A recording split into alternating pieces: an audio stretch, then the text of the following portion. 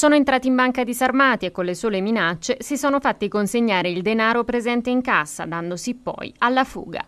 Autori del colpo, quattro banditi dall'accento meridionale che questa mattina hanno messo a segno una rapina ai danni della filiale della Cassa di risparmio di Ascoli di Via Mare a San Benedetto. Tre di loro, con il volto nascosto da calzamaglie, sono entrati nell'istituto di credito e hanno intimato agli impiegati di consegnare il denaro. Poi si sono dati alla fuga a bordo di una Fiat Punto dove li attendeva il quarto complice. L'auto, rubata in mattinata nella cittadina, è stata ritrovata poco distante. Il bottino deve ancora essere quantificato, ma ammonterebbe a circa 4 migliaia di euro.